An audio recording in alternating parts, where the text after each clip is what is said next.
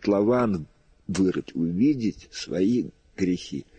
Поэтому святые говорили, не удивлюсь, если кто воскрешает мертвых, видит ангелов. Удивлюсь, если кто видит свои грехи. Вот что самое сложное. Нам все кажется, что мы хорошие.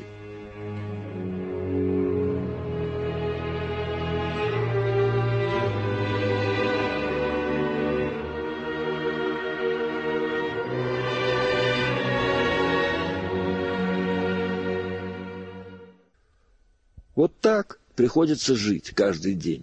Каждое дело, каждое слово, каждый разговор должен иметь смысл, смысл нашей встречи, чтобы зрители лишний раз увидели меня, пусть лучше они меня в кино увидят, где я играю, где я умею что-то делать, на эстраде, где я песни пою.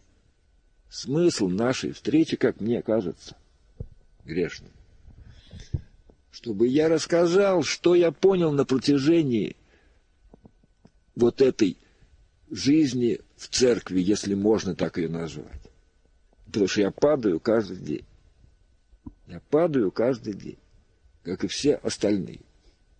Но я научился это видеть. Вот за 12 лет я научился видеть, что я не могу ничего без Бога. Если я научился и понял, что я не могу без Бога ничего, значит, что я начинаю делать?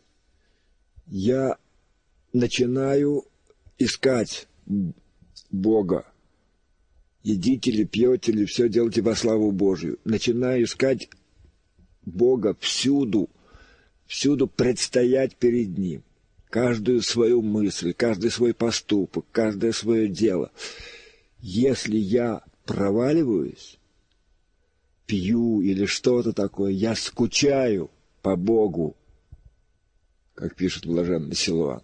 Скучает душа моя по Господу. Вот чего я, я достиг милостью Божией, с помощью Божией. Вот что со мной произошло. Я уже без Бога жить не могу. У меня не получается, я пробую.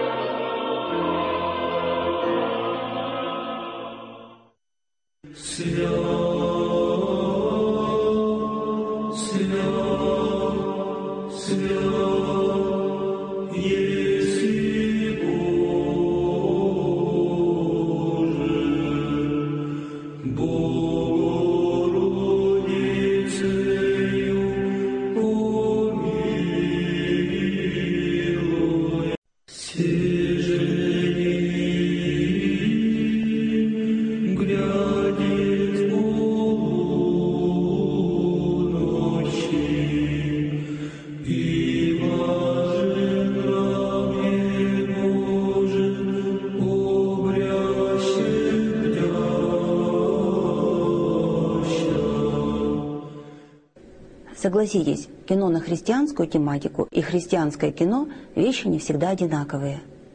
А вот фильм Павла Лунгина «Остров» оказался именно христианским и явил собой такое кино, которое заставило нас всматриваться в суть православной веры. Ведь «Остров» – это, пожалуй, первая игровая художественная картина, в которой честно и талантливо было сказано о главной цели христианской жизни – о покаянии. А еще в этом фильме мы смогли увидеть, как православному человеку нужно жить, что ставить во главу угла и даже как умирать. Главную роль в фильме «Старца Анатолия» сыграл актер, поэт и музыкант, в прошлом лидер рок-группы «Звук ему» Петр Мамонов. И многие после просмотра говорили, что актер будто бы сыграл самого себя. Мол, та же отшельническая жизнь, тоже бегство от мира – а сам Петр Николаевич относится к своей роли спокойно и считает остров очень удачной работой, которой можно не стыдиться, ведь все, что он мог, сделал. Это во время съемок он целыми ночами думал, плакал, А когда посмотрел фильм раз девять, убедился, все сделанное было и верным, и точным, и остров с каждым просмотром все больше и больше нравился актеру. На сегодняшнем уроке православия размышлениями о вере и о творчестве, об острове и о себе с нами поделится сам Петр Мамонов. В одном из интервью, говоря о себе, Петр Николаевич предупредил «Я ничего не вещаю, а лишь делюсь собственным опытом. Ведь я слабый, немощный, такой же, как все. Но у меня появилась алчба. Мне надо позарез, аж в горле пересыхает истину. А одно из имен Христа — солнце правды — к этому солнцу я всеми своими комариными селенками и стремлюсь. Ощущаю ли я себя актером? Я, Мамонов Петр Николаевич, да, себя люблю за то, что в работе всегда по-честному, до конца.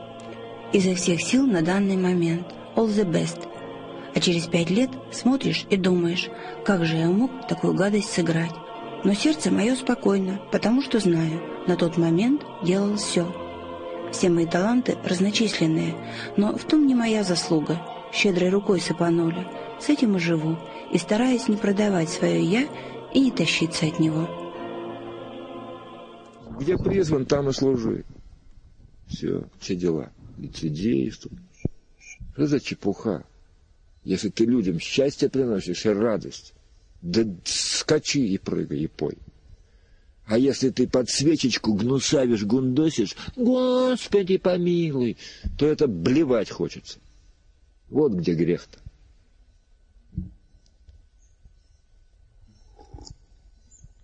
Делай свое дело до конца, как считаешь нужным.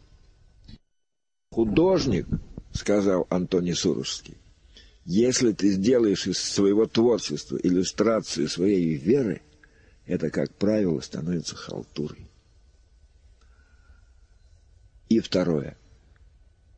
Не бойся, художник. Твори. Твоя вера будет там. И то, насколько ты с Богом, будет там. У меня одна выскочила, это самая безумная корреспондентка. Как вы можете, вы там сопли на сцене с гитарой, как вы можете играть такого после острова? Старца как вы можете здесь о Боге вообще говорить? Я говорю, родная, успокойся сначала. У него прям с пеной у рта. Я говорю, успокойся, ради бога, успокойся, успокойся. Ну, ее ребятишки потихонечку прямо на руки, вот так она бьется вся. Реально говорю. И потихонечку из зала так и вынесли. лицедействовать, понимаете? Вот какая картина-то.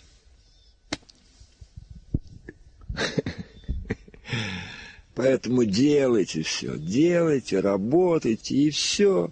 Хорошо, только Бога любите прежде всего и больше всего на свете. Блажен муж, и жени на совет нечестивых, и на пути грешных места седалище губителей не сидит, но в законе Господнем воля его. Закону его поучиться день и ночь. И будет, яко древо насажденное у исходящих вод.